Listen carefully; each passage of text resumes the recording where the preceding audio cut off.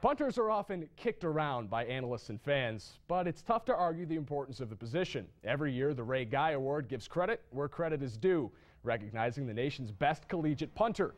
University of Idaho senior Bobby Cowan has been selected to the 2012 Ray Guy Award watch list. He's one of 25 Division I punters to make the cut. Cowan was a semifinalist for the award last year. He was a 2011 All-American, a second-team All-WAC selection, and the Idaho Special Teams Player of the Year. Cowan ranked second in the nation in punting average in 2011.